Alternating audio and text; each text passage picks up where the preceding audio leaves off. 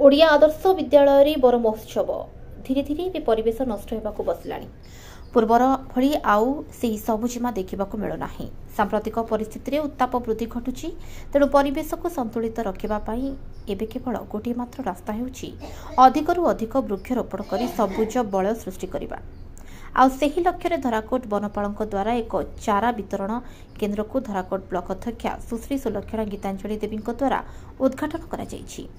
ଏହା ସହ ଡାକବଜାରସ୍ଥିତ ଓଡ଼ିଶା ଆଦର୍ଶ ବିଦ୍ୟାଳୟରେ ବନ ମହୋତ୍ସବ ଅବସରରେ ଦୁଇଶଟି ଚାରା ଗଛ ଧରାକୋଟ ବନପାଳ ଫରେଷ୍ଟ ଗାର୍ଡଙ୍କ ଉପସ୍ଥିତିରେ ଲଗାଯାଇଛି।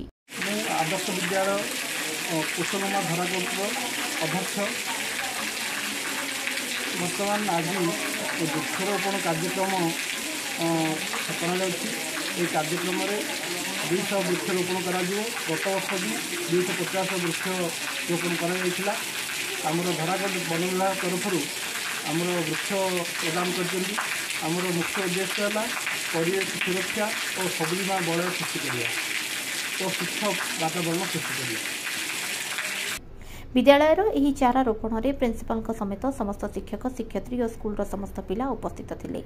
ଏହି ଅବସରରେ ପିତାଙ୍କୁ ବୃକ୍ଷର ମହତ୍ତ୍ୱ ଓ ପିଲାଙ୍କୁ ବୃକ୍ଷର ମହତ୍ତ୍ୱ ଓ ଆକାର ଉପକାରିତା ସହ ସୁରକ୍ଷା ବିଷୟରେ ବୁଝାଯାଇଥିଲା।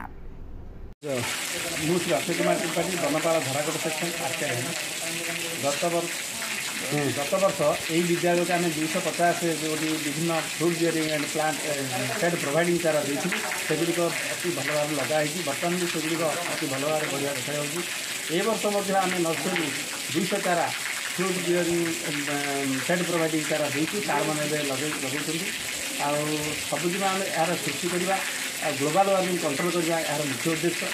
ତେଣୁ ଆମେ ଏହି ଚାରା ଦେଇକରି ସାର୍ମାନ ପାଖରୁ ଆମେ ସାର୍ ପ୍ରଦାନ କରୁଛୁ ସରକାର ବର୍ତ୍ତମାନ ବିଭିନ୍ନ ପ୍ରକାର ମାନେ ଗଛ ଲଗାଇବା ଫଳରେ ଗ୍ଲୋବାଲ୍ ୱାର୍ମିଂ କଣ୍ଟ୍ରୋଲ୍ ଆମେ କରିବାକୁ ଚାହୁଁଛୁ।